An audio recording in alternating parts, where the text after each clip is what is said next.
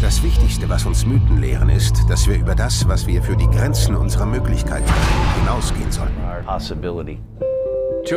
Joseph Campbell gilt als einer der bedeutendsten Mythenforscher überhaupt. Er analysierte all unsere Märchen und Geschichten.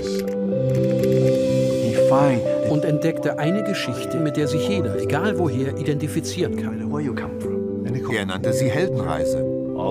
Alle Helden, alle Schurken, alle Götter entstehen hier drin. Die Figuren in Filmen und Romanen sind von uns nicht losgelöst. Das sind wir. Es ist eine Reise. Wenn diese Heldenreise nun so unkompliziert ist, warum lebt dann nicht jeder danach? Das ist schwer in unserer Überflussgesellschaft. Da bleibt nicht viel Raum für Kreativität. Man steckt in einer Tretmühle, aus der man nicht rauskommt.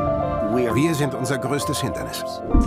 Was den Menschen gefangen hält, sind seine Ängste. Joseph Campbells Drachen. Angst ist ein Monster.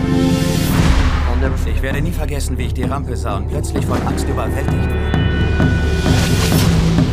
Auf ein unbefriedigendes Leben folgt ein erfülltes, wenn man sich durch seine Ängste hindurchkämpft. Menschen wachen genau dann auf und werden zu Helden ihres eigenen Lebens, wenn sie es satt haben, Opfer zu sein.